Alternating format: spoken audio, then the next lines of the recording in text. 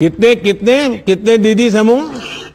एक लाख दीदी हमारे आजीविका मिशन में एक लाख तीन हज़ार दीदियाँ जुड़ी हैं। उनकी सबकी तरफ़ से आपको बहुत बहुत तो नमस्कार आप ये एक लाख तीन हज़ार दीदी की लीडर हैं? नहीं सर मगर हमारे ज़िले में है समूह में है हम सब संगठन में है एक। अच्छा रूबीना जी पहले अपने विषय में बताइए आप क्या करती हैं?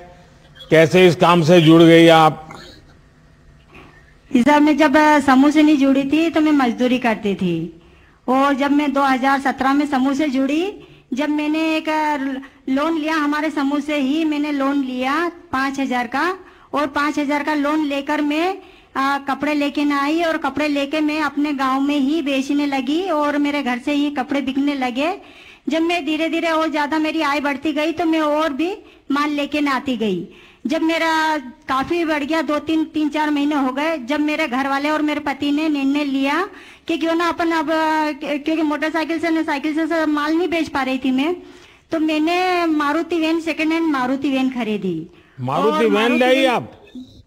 जी सर मारुति वैन लेके न आई मेरे पास तो साइकिल भी नहीं है और आपके पास मारुति वैन है। जी सर और उसको फिर मैं लेके न गाँव गाँव बेचने जाती थी तो मेरा और भी आय बढ़ने लग गई तो फिर मैंने देवास में दुकान ले ली। क्या दुकान खोल ली मैंने कपड़े की और उसके बाद में फिर मुझे ज़िले से इसका गणवेश का भी काम मिला तो मैंने गणवेश भी सिलाई करी। और फिर हमें उपार्जन का भी काम मिला, हमने उपार्जन का भी काम करा, उससे मेरी आय अच्छी बढ़ती गई।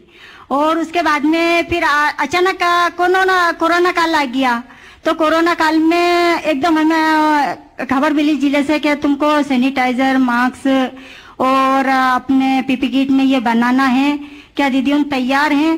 तो कुछ दीदियाँ पहले तो डरने लगी कि पपन बाहर कैसे निकलेंगे, कैसे जाएँगे, मगर फिर हमने निर्णय लिया सभी समूह की दीदियों उन्होंने कि क्यों ना हम जब जब देश अपना इतना मुश्किल में है, इतना खतरे में है तो अपन क्यों ना बाहर निकलें। इसलिए हमने मास्क बनाए सभी दीदियों उन्होंने, मेरे देवा ज़िले की दीदियों उन्होंने मास्क बनाए, सैनिटाइजर बनाया और पीपी किट बनाया और उसके बाद में हम सब दूर जाके देने भी लगे। उससे मेरी दीदी उनको एक तो अपने देश की सेवा करने का मौका मिला और उसके बाद में एक हमारे जो देश में जो जो कोरोना काल की वजह से जो दीदियाँ आफत में थी उनको एक आय मिली। उनको एक कमाने का साधन मिला। कितनी कमाई हुई होगी रुबीना जी? सर मेरे दीदी ने एक एक दीदी ने साठ साठ सत्तर सत्तर हज़ार के मार्क्स और पीपी किट नहीं बनाए। मैंने साठ साठ सत्तर सत्तर हज़ार रुपये?